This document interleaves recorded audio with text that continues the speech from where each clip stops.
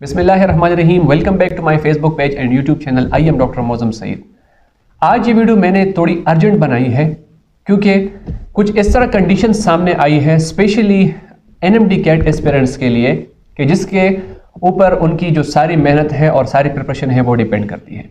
जी हाँ जो सेनेट का सेशन है, ठीक है, वो एक मंथ के लिए डिले हो गया है। उस सेशन में होना यह था कि जो पीएमडीसी बिल है, वो हुकूमत ने पेश करना था और उसको मुतफ़ा तौर पर मंजूर करके जो पीएमडीसी बिल है उसको दोबारा लागू करना था। यानी पीएमडीसी को अपनी असल हालत में रिस्टोर करके पीएमसी को ख़त्म करना था। ठीक है? तो ये चीज़ अभी डिले हो गई है।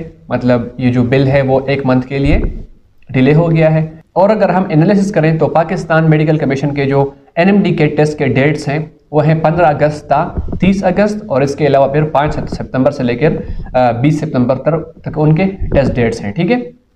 मतलब इनका एक प्रोसीजर है पिछले साल जिस तरह था उनका ये सारा प्रोसीजर इस साल भी होगा ठीक है?